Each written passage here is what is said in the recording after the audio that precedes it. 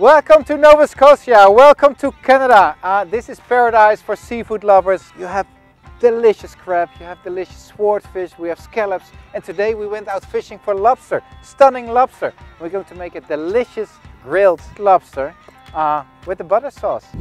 Okay, for six half lobsters I take like 60 gram of butter and now I'm going to chop some parsley. Uh, and this is outdoor cooking, so hopefully the parsley won't fly away. And I'm going to chop it quite fine. Take one shallot, going to chop it really fine. And add this to the butter. I take half a garlic clove and chop it again, really fine. I take a tiny bit of dried chili flakes and chop them really, really fine too. Salt, some pepper, and a bit of lemon juice. So now I'm going to mix all these ingredients together. So the next part is cutting the lobsters into halves. So I've cooked this lobster for five minutes and why?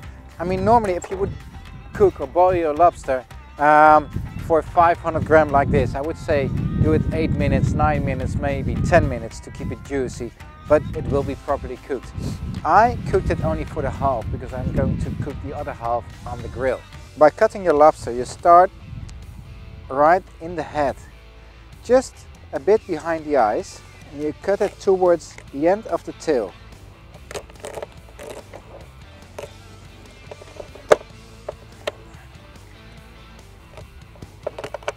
You turn it around and then you cut the other to the other side in between the eyes. Beautiful. Okay, so here we have the white lobster meat. Um, the same meat will be in the claws. And here we have the tomalley. This is this delicious uh, part which comes out of the head of the lobster and really save it. This is a delicacy. So next lobster. So we're now almost ready to start grilling the lobster. Um, what's very important, I keep the claws closed. You can break, could break them right now, but it will be difficult to grill them. So check if my grill is really hot. Yes. We're going to add a drizzle of olive oil on top of the lobster tail. So I brush a little bit with my finger. So here we have six beautiful lobster halves and now we're going to start grilling them. And I start grilling them um, with the meat side down. So I'm going to grill them like on this side like three, four minutes uh, until you have these beautiful marks. We're going to turn them around after it and add the butter. So guys, while my lobsters are grilling, I would love to tell you something more about the way these lobsters are caught. On the bottom of the West Bay here in Nova Scotia, they lay a lot of wooden lobster traps.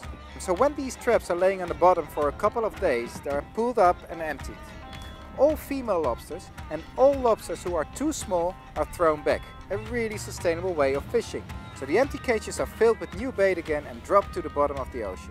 Ready for some new lobsters. So I've grilled them now for 4 minutes, 5 minutes on one side. I'm going to turn them around. Look how beautiful. So I've turned my lobsters now. Now I'm going to add the butter on top of it.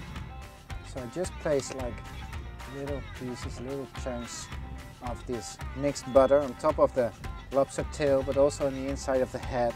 So I'm now going to close the lid in order to have the butter melted. You get this beautiful, delicious flavor on top of your lobster.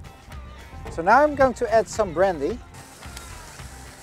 So as soon as the alcohol has been evaporated, um, we're going to take off the lobsters. We're going to plate them up. There's a bit of wind here. Plate them nicely. So I have a bit of butter left, which I'm going to melt uh, in a pan. I'm using this pan because I have no other, but you could do it like in a small pan to top the lobster uh, off. Give it this finishing touch. Okay guys, look at these beautiful lobster halves grilled here from the grill. You could serve it with like french fries, maybe some lettuce with it. So uh, enjoy it. And thank you for watching. Thank you Nova Scotia for uh, inviting us to this beautiful place thank you to this lobster fishery and uh, see you soon for next episode.